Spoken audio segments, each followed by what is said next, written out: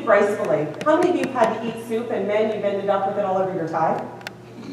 Or ladies, it's all over your silk blouse, you're like, really? I just bought this blouse and it's. Okay. Couple of different things. First of all, the soup is too hot. How many of you have ever taken ice out of your water glass and put it in your soup? I have. I'm just telling you. Yeah, boy, yeah, at home, yeah, yeah, right? Nobody knows. Yeah, yeah. Out in public, no, you don't do that. If it's too hot, you either skim it from the sides or you gently stir it to help it cool down. You don't pick it up and blow on it because then you're blowing soup at everybody else on the table, right?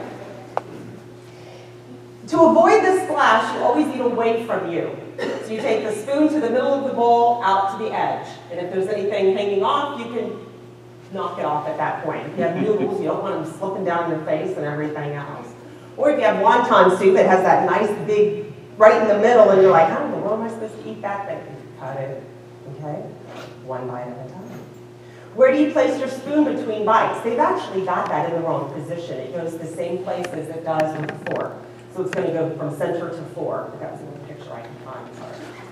So, in between bites, it'll go from there to there. If it is a cup of soup, you will rest your spoon on the, the platter or the um, saucer underneath your cup. Okay? Are we finding this helpful? Yes.